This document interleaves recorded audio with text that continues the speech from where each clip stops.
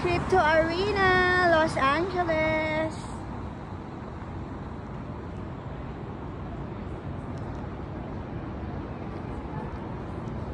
This is supposed to be uh, before it's supposed to be um Staples, but it's now it's Crypto Arena.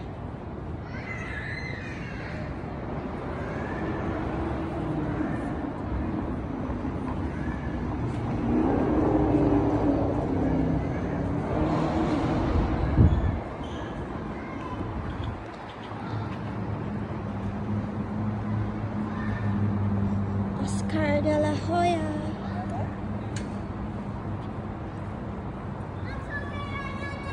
Magic Johnson.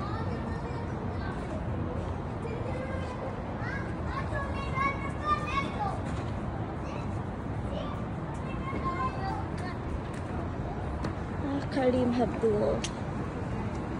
So this is the crypto arena guys. Here in LA.